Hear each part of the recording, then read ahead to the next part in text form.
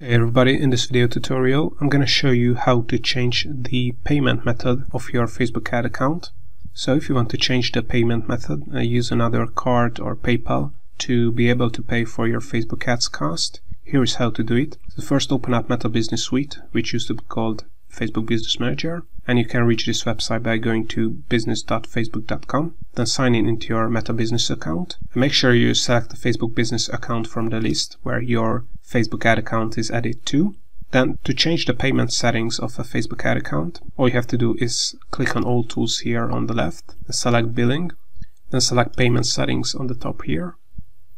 And here you're going to see information of your previous Facebook ads transactions and your current existing payment method.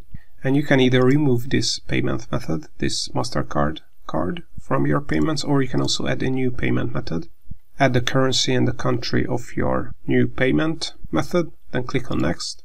And you can either select debit or credit card, PayPal, online banking options, and either choose ad credit. And this will depend on your Facebook ad account. If you haven't spent any money on Facebook ads yet, I think you will only be able to choose debit or credit card and PayPal. So once you selected the one, just click on next and add the necessary data like the card information to be able to change the current payment method on your Facebook ad account.